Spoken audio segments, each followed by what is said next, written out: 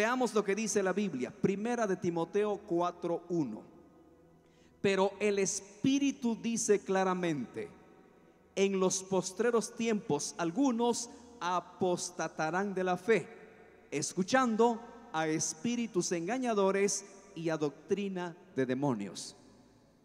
Ahorita, en Guatemala y en Latinoamérica, se ha levantado una doctrina terrible que están enseñando que el Dios hebreo, Jehová, nuestro Dios, ellos dicen que es Satanás. Tremenda blasfemia. Pero muchísima gente están creyendo en esa doctrina y llegó a Guatemala. Se está propagando aquí en Guatemala. Una vez más le digo, no todo lo que usted mire en las redes sociales diga amén. Abra bien los oídos, empápese de la palabra. Si lo que están diciendo está bien interpretado o está mal interpretado. Pero ¿cuál es nuestro error? Que le damos poco tiempo a la palabra y por eso no conocemos. Me dieron 40 minutos. Yo necesito mínimo hora y media para desarrollar bien la prédica. Tengo que correr, tengo que acelerar, tengo, que ir a, a 100 por hora. Y por eso muchos caen en el engaño. Muchos, dice, apostatarán de la fe. Ahorita se han levantado muchos falsos profetas, falsos apóstoles, y ustedes los invitan. Yo me quedo maravillado cómo en las aldeas ya se les abrieron las puertas, pastores, por favor. Con todo respeto me dirijo a ustedes. Tengan cuidado a quién van a invitar. Averigüen bien qué doctrina profesa, qué doctrina está viviendo. No solo porque predica bonito, no solo porque habla bonito, bueno, invitémosle. No seamos parte para que se siga propagando la apostasía. Claramente dice la Biblia, muchos apostatarán de la fe escuchando a espíritus engañadores y a doctrina de demonios. Esta doctrina que le acabo de decir, que están enseñando que Jehová es Satanás. Qué tremenda blasfemia. Y mucha gente lo está creyendo aquí en Guatemala, en las aldeas. ¿Pero por qué? Porque no toman tiempo de estudiar la palabra. Otra razón, el por qué en aquel día te van a decir, apártate de mí, son aquellos que negociaron con el Evangelio. Cosa tremenda este punto. No quisiera tocarlo, pero tengo que tocarlo. Lastimosamente el día de hoy el Evangelio se ha convertido en un tremendo negocio. Negociazo. Negociazo.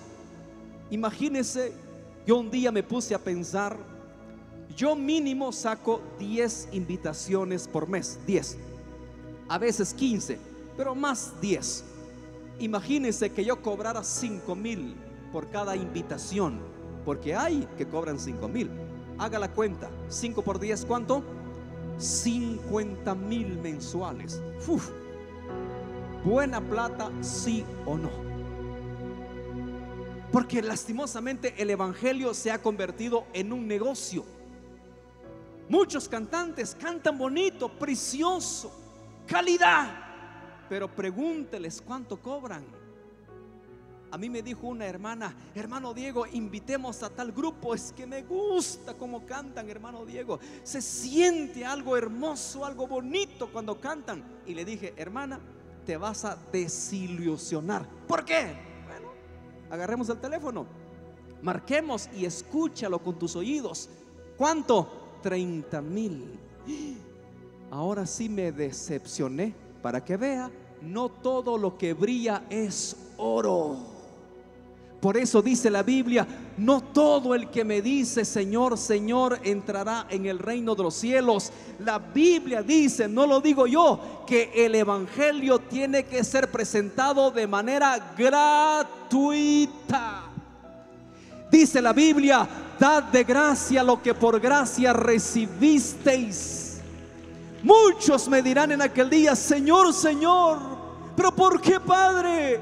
Es que tú no pusiste en práctica lo que dice la Biblia. La Biblia dice claramente, no lo digo yo, vayamos a la Biblia, porque usted dirá, el hermano inventa nada más. Dice la Biblia en Primera de Corintios 9, 18. ¿Cuál pues es mi galardón? Que predicando el Evangelio presente gratuitamente el Evangelio de Cristo, no dice 30 mil o dice, no dice 10 mil o dice 10 mil. ¿Qué dice? Gratuitamente. Apocalipsis capítulo 20, versículo 11 dice, vi a los muertos, grandes y pequeños de pie ante Dios, y los libros fueron abiertos. La pregunta, ¿qué libros? La Biblia. Y si la Biblia dice que el Evangelio hay que presentarlo gratuitamente y tú estás vendiendo el Evangelio y tú estás vendiendo la fe, entonces Dios te va a decir, aquí dice gratis, es gratis. Y como tú lo vendiste, apártate de mí, nunca te conocí. Cosa seria el día del juicio final. En segunda de Pedro, capítulo 2, versículo 1, escuche lo que dice. Pero hubo también falsos profetas entre el pueblo, como habrá entre vosotros falsos maestros, que introducirán encubiertamente herejías destructoras y aún negarán al Señor que los rescató, atrayendo sobre sí mismos destrucción repentina. Y muchos seguirán sus disoluciones, por causa de los cuales el camino de la verdad será blasfemado. Escuche el 3, segunda de Pedro 2:3. Y por avaricia harán mercadería de vosotros con palabras fingidas sobre los tales, ya de largo tiempo, la condenación no se tarda y su perdición no se duerme. Usted que está negociando con el Evangelio, ¿cuántos pastores están negociando con el Evangelio? Se están enriqueciendo con el diezmo. Se están enriqueciendo con las ofrendas. ¿Cuántos pastores ahorita tienen avión privado aunque usted no lo crea? Viven en casas de lujo, carros de lujo, pero jamás, jamás construyen una casa de los miembros. Jamás ayudan la necesidad que hay dentro de su congregación. Solo ellos están enriqueciendo de dinero. Pero la Biblia dice, su condenación no se duerme y su perdición no se tarda. ¿Qué nos queda de tarea? Es hacerlo por amor, para que verdaderamente en aquel día Jesús nos diga, buen siervo, en lo poco fuiste fiel, sobre mucho te pondré, entra al gozo de tu Señor. Eso es lo que yo quiero escuchar en aquel día. Y quiero finalizar con esto. Escúcheme muy bien, pastor, que organiza eventos los que cobran por cantar y predicar están en pecado, sí están en pecado. Pero usted también está en pecado por contratarlos. No lo digo yo, escuche lo que dice la Biblia. Primera de Timoteo 5:22. No impongas con ligereza las manos a ninguno, ni participes en pecados ajenos, consérvate puro. Eso es participar de pecados ajenos, cuando usted invita a alguien que tiene tarifa. Y de esa razón se sigue propagando la apostasía.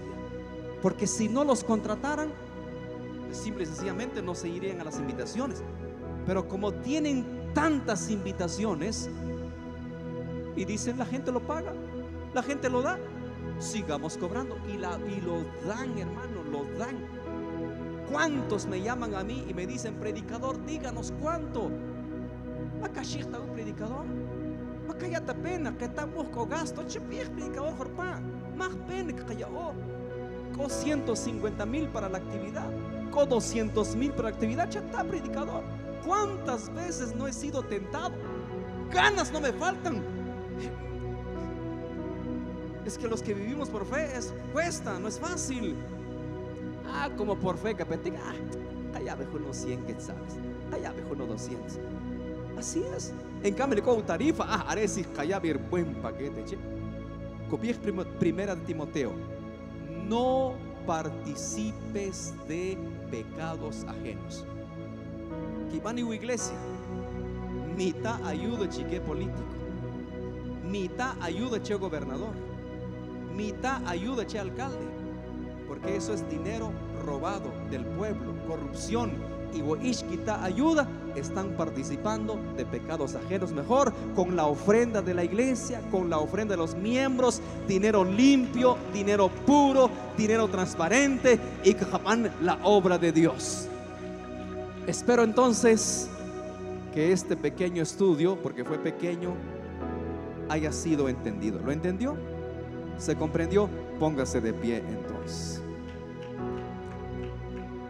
quiero hacer un llamado. ¿Cómo está tu vida delante de Dios? Usted que está presente y los que están viendo. ¿Cómo está tu vida? ¿Estás bien? ¿Estás a cuentas con Dios? No vaya a ser que en aquel día te digan, apártate de mí, nunca te conocí. Pero hoy hay salvación. Hoy es el día de estar a cuentas. Si estás practicando el pecado, arrepiéntete.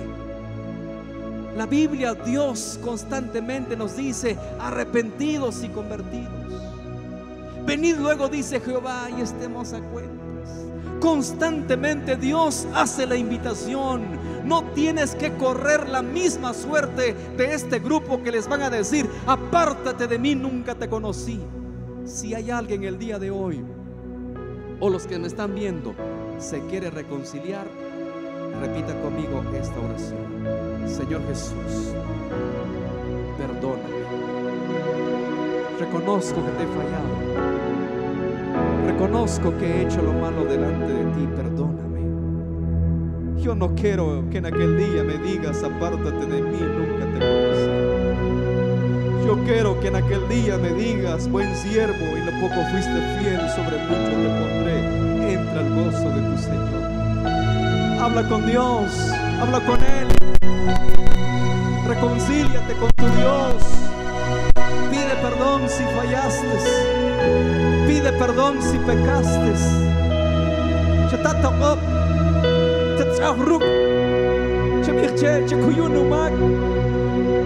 Corwanima, más amor, más misericordia, takuyu, chekuyur no maktat, haz verdaderamente la salvación, verdaderamente kawar la vida eterna,